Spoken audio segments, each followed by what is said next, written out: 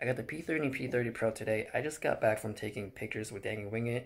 It's 1.30 a.m. in the morning, so I'm tired. I'm pretty sure he's tired too. I just want to do a camera comparison, a blind camera comparison actually, to show you guys if it's worth uh, buying the regular one over the Pro version in terms of just camera quality.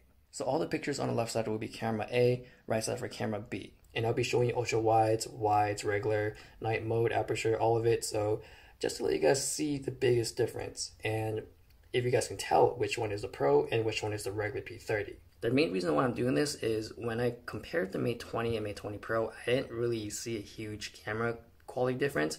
So I want to see if it's the same with the P30 and P30 Pro.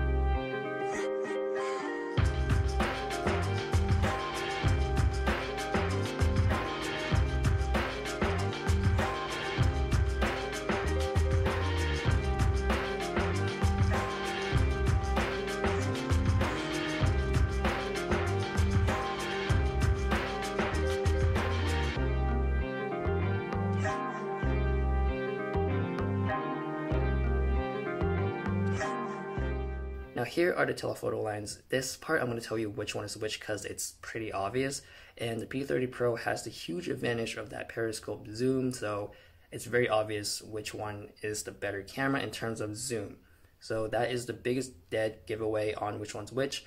And to be honest, that P30 Pro um, zoom lens is a big game changer. So if you love to use a telephoto lens or zoom in a lot of things or in your pictures, I think you're gonna love the P30 Pro. For video, I think the P30 Pro will win because it has OIS and AIS running at the same time. So that's the biggest advantage there, while the P30 only has OIS on the telephoto lens. So that is my blind test. Let me know what you guys think or if you guys see a difference. So thanks for watching and I'll see you guys later.